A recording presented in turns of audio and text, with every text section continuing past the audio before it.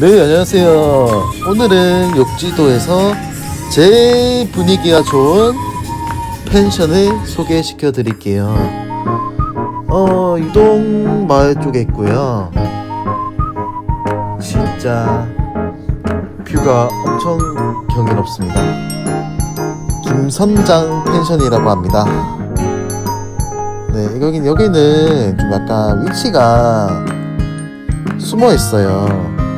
손님들께서 많이 놓치고 그냥 지나치시는 부분이 많은데 너무 아쉬운 부분이라고 생각합니다.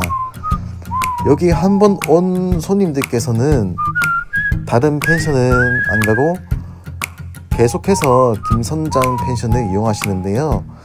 그 이유는 바로 앞에 바닷가가 있고 거기에다가 졸기탱이 강아지가 있기 때문입니다.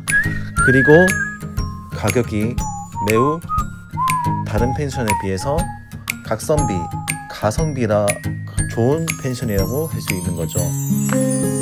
정말 여기서 이제 뭐 방파제가 있어서 낚시도 가능하고요. 어, 여름은 최고 휴양지라고 보면 되겠습니다. 아 강아지 너무 귀엽다 진짜. 정말 귀엽습니다. 네, 이렇게 분위기 좋은 바닷가가, 바닷가가 있고요. 물론 이제 뭐 커플들에게 가장 적합한 펜션이라고 보시면 됩니다. 자, 그럼 한번 볼까요? 네. 엄청 좋죠.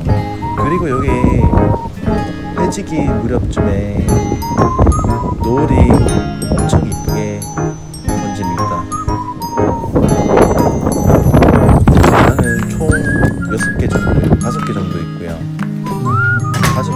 가족들끼리나 친구들끼리 와도 적합한 펜션입니다.